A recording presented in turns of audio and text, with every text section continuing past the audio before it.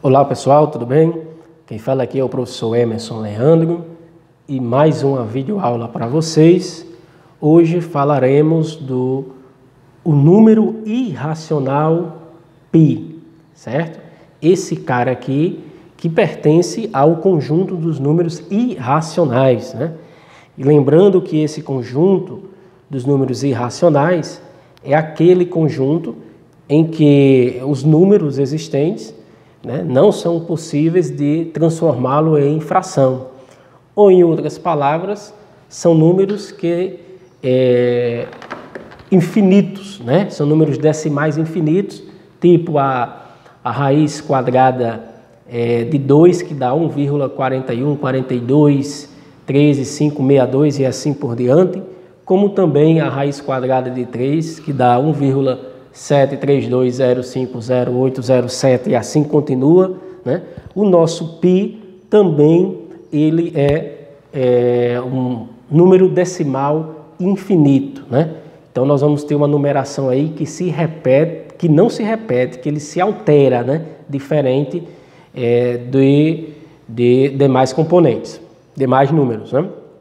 Pois bem, nós temos aqui uh, para mostrar para vocês que de onde vem esse pi. Né? Nós já estudamos bastante sobre isso e que, independente do tamanho do, do círculo, né? aqui um círculo menor, aqui nós temos um círculo maior, se você pegar o C, que é o comprimento dessa, desse círculo, que nós denominamos de circunferência, esse entorno, e dividir pelo diâmetro D, daqui para cá, dessa, desse círculo, nós vamos encontrar o valor do π, né? 3,14 aproximadamente.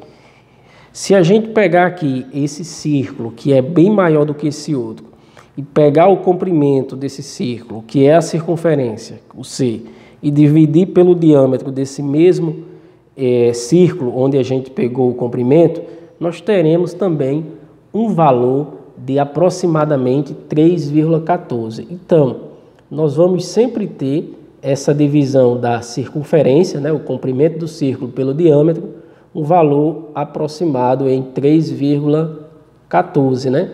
E assim ele continua infinitamente. Então, é, o π, né, ele sai desse ponto aí, certo? Ele sai desse ponto aí e continua. Mas o que é que eu trago mais de é, novidade para vocês? Vamos lá, explorando mais o número pi, só para vocês terem uma ideia, nos Estados Unidos, né, desde é, 2009, o dia 14 de março é oficialmente comemorado como o Dia Nacional do Pi. Né? Olha a importância aí do Pi lá para os Estados Unidos. E por que foi escolhido no dia 14 de março, né? É, essa data? Porque lá nos Estados Unidos, é, a gente sabe que o, o, o, número 14, né, que é o dia, e o mês março é o mês 03.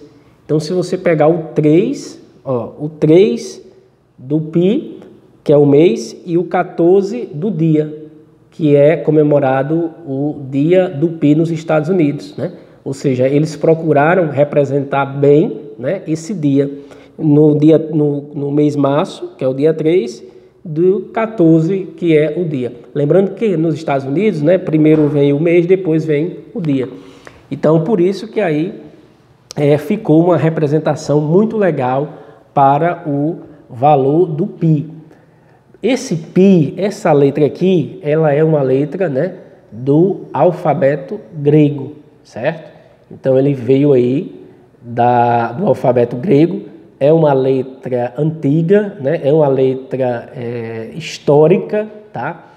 Ela é tão histórica de tal forma que ao longo da história nós é, conseguimos identificar que, é, principalmente no Oriente Antigo, se expressava que o pi era aproximadamente o valor de 3. Né?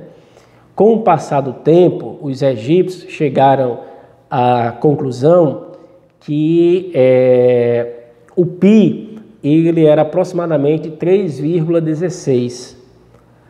Né? Logo em seguida, Arquimedes obteve o seguinte intervalo. Arquimedes disse que o π era maior do que uma divisão é, de 223 por 71, era maior do que esse número e menor do que 22 dividido por 7. Né? Olha a questão da história por trás aí desse número irracional que é o π. E por fim, né, chegou-se, né, com Arquimedes aí a um valor de aproximadamente 3,14, que é o que a gente trabalha até hoje. Mais uma novidade importante é que em 2011, certo? O executivo japonês, não sei se a pronúncia está correta, se Shigeru Kodon, Kodó, né, né? Shigeru, Shigeru Kondon, alguma coisa assim, Kondó, não sei bem a pronúncia ele usou um sistema né, computacional e conseguiu uma aproximação do PI com 5 trilhões de casas decimais, ou seja, olha a quantidade de números que aparecem após a vírgula, né? Então é um número bastante interessante de conhecermos, né? Ou seja, esse número a gente sabe que ele é infinito. E aí eu vou escrever aqui para vocês é, alguns números, né? Então, o 3, na verdade, é 3,14, né? Aí continua com 15, 9, 26, 535, ou seja, vocês estão vendo aí que ele é um número infinito.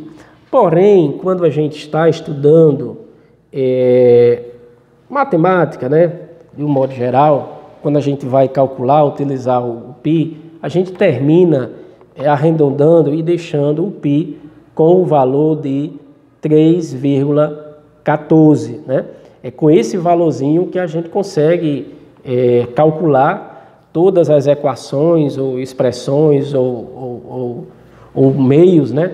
Dentro da, do nosso dia a dia ou da engenharia que remete ao valor do π, que representa 3,14, já é suficiente para a gente encontrar todos os valores desejados de uma expressão, uma equação, uma fórmula, uma aplicação qualquer no seu dia a dia, tá bom? Então, gente, basicamente era isso que eu queria mostrar para vocês, a importância desse número π né, para a matemática e a valorização que os Estados Unidos dá a esse, a esse π, tá bom? Um grande abraço a todos e até o nosso próximo encontro. Valeu, gente. Tchau, até mais.